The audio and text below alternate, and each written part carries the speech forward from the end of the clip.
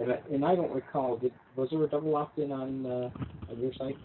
No, nope. Okay. That's another thing we could talk about right there. Okay. I, I've heard some pros and cons about that too. I've heard that uh, um, a lot of people say don't use the double opt-in feature, and then some people say absolutely use the double opt-in feature. Yeah. Yeah. You want to talk about that? Yeah, absolutely. Definite Yeah. opinions on that. I looked around to see if there was any statistics on exactly um, uh, exactly what you what would happen double versus single opt-in, Mhm. and I couldn't find any really hard evidence one way or the other. Okay. And I talked with uh, some. I talked with a AWeber's people, and they said, of course you should do this, and they gave me some pretty flimsy reasons why. Because they talked about, well, it's going to insulate you against spam complaints. If too many people complain of spam, then you can you have proof that they double opted in, and so you don't have to worry about it, you know, or anything like that. But you know, really, if you're sending out decent stuff, you don't have to worry about spam complaints, anyways. And uh, and they said something about the responsiveness of your readers. And it is true that if you have people double opt in, then if you've got an email list full of people who have double opted in, then that means that, well, they visit their email on a fairly regular basis. And so, yeah, you're going to have a better response uh, than if you have a list of people that are single opt ins, you know, just because, uh, yeah. But here's what I found. Mhm. So I started two email lists. One was double opt-in, one was single opt-in. Other than that, other than that, there was no difference whatsoever. Okay. And so after I forget how long it took, but I got a thousand people on the double opt-in list, Mhm. and I looked at the single opt-in list, and there were a thousand two hundred and forty-nine people on that one. Wow. So number one, I got an extra twenty, Twenty-five 20%. boost? Yeah. twenty-five. And Yeah. I said, okay, and that's one reason I tried this out is because I looked at my statistics, and every Mhm. you know, if I had 20 people who signed up for something, then a fourth to a third of them weren't opting in, And I was losing them. I, I kind of freaked out at that point Sure. because Sure. you know we're, we're talking about that's a lot of people. That's 249 extra people on your list. Exactly. And so Yeah. I'm presuming that a thousand people would have opted in if it were double opt in, but they didn't have to. And so they're on my list still, these responsive people. Mhm. And then I've got another 249 people who apparently would not have, you know, gone and double opted in, or they would have missed the email or something. So, but they're on my list too now on the single opt-in one. And those are, those are the two lists I had to work with. And so the next thing was, all right, so are we getting any? Uh, are people less? Uh, uh, what are the stats on both Mhm. of them? Mhm. And I'm going off the top of my head here, Sure, but you know, I sure. think you know there's a 20% increase. Is that right? 20 or is it 25? 25. Well, let's see. You're saying there's uh, you got 249 additional. Um, Additional. So yeah, it would probably work out to more like 20% uh, greater. was 20% greater. Yeah, yeah 20% right, yeah. more people in the single Right. opt-in. So I was looking to see if for some reason the open rates or the click-through rates or anything like that Mhm. Mhm. was 20% was uh, proportionally less, okay.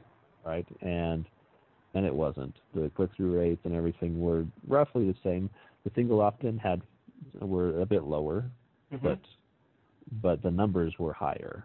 gotcha. As in, so if a hundred people on the double opt-in click through, a hundred and you know five people click through Mhm. on the uh, you know single opt-in, and so the they were less responsive as a percentage, Mhm. but they were more responsive as a group, as in the number of As individuals. Yeah. Right. Gotcha. So Well, that that and I- answers that question. yeah, I was like, okay. And then I sold something. I think I gave something away for just a seller, you know, like a dollar for the first month or something like that. Sure. And I had, if I recall, it's like 12 people from the double opt-in Mhm. signed up for it. But then there was 13 or 14 from the single opt-in signed up for it. Wow. Okay. And so if you look at the straight up percentages, you know, those extra 249 people you could say were not as responsive, hmm but they were somewhat responsive. And, you know, that's, they were just numbers wise, they were, that list was more responsive. Well, you got two, because of sheer two over 12 also, right? So, Right. uh, yeah, that that's the other side of it. It's actually much more effective uh, when you look at it in those terms. Right. Right. Okay. So anyways, that was the idea. So okay. you know, anything that email services tell you about why you should do double opt-in, what it boils down to is they're just interested in uh in kind of covering their own rears here Mhm. because because Yahoo and Gmail and those places like to see double opt-in and and it makes it so that the spam complaints are lower for sure. I Sure. I, I would imagine. Well, hmm. I could, I could go check that actually. Anyways, I've changed, changed both these email lists to single opt-in since, and so my data is not as good. And you know what? I I lost the data that I collected, and so I'm telling you this out of memory. Okay. I wish I had the hard numbers because it would have been so nice. And and I put them someplace, and I have not found them. I they just disappeared on my Oh. computer here someplace. They're Oh, here boy. somewhere.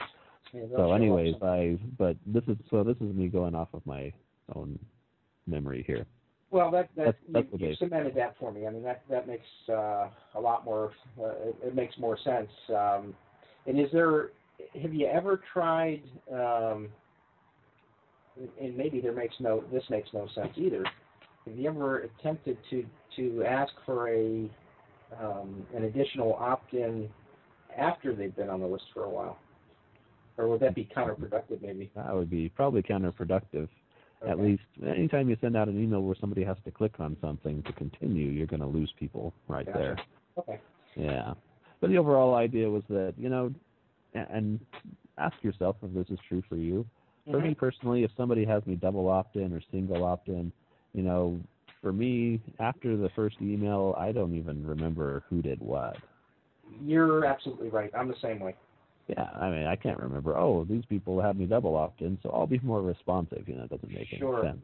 Sure. So, anyways, that's uh, there's really no reason to do double opt in, except Okay. it makes your email service, if you're using Aweber or someplace like that, it Mhm. makes them a little more secure. And that's one of those kind of odd sort of, you know, it's good to do single opt in for the individual, but it's good to do double opt in for the group. Mhm. And so the only thing I really say is, hey, just make sure you're sending out good quality content and you're not contributing to the overall problem of spam. Right. And single opt-in would will it'll work better for you. It'll Okay. serve you better. Okay, that makes a that makes a thousand percent uh, sense. Uh, and I can see where that would uh, really make a difference.